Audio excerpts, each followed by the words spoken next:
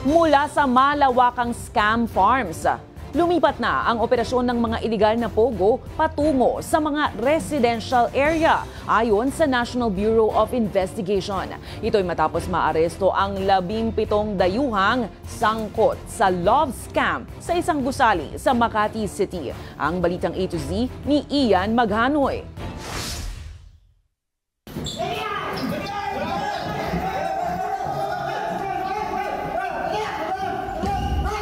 Timbog sa isinagawang raid ng NBI Cybercrime Division nitong biyernes ang labing pitong banyaga sa Tejeros, Makati City. Sa video na isinapubliko ng NBI, kita ang pagsalakay ng otoridad sa isang gusali na sinasabing pinamumugaran ng mga foreign online scammers. Arestado ang labinlimang Chinese, isang Taiwanese at isang Malaysian na itunuturong leader ng sindikato love scam o romance scam ang taktika ng mga scammers para manghack at mabiktima online ang kanilang mga kapwa dayuhan. And then pag nahook na yung victim, mag engage na sila ngayon sa investment uh, proposal. And then from there, uh, may sinesend sila mga link dito.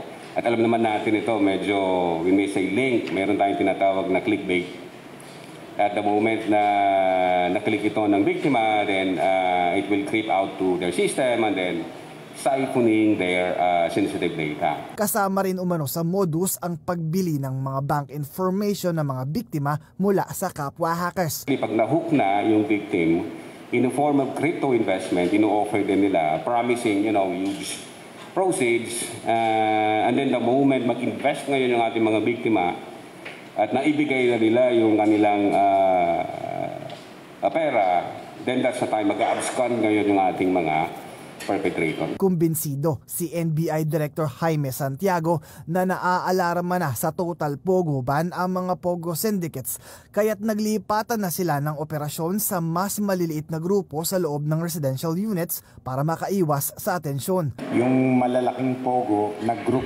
sila into a smaller group ayan na nga, uh, nag-occupy ng residential uh, units, apartments, no?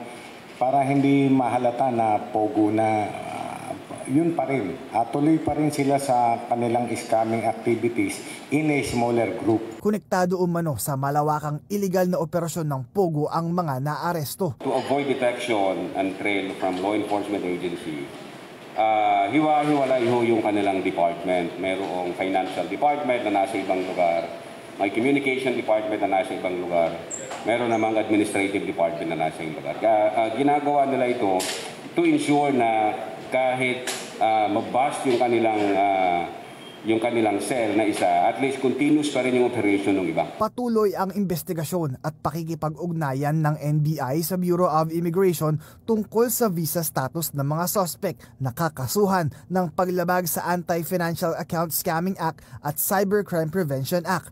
Tinutugis na rin ang Finance Department ng sindikato ng online love scammers. Para sa Balitang A to Z, Ian Maghanoy.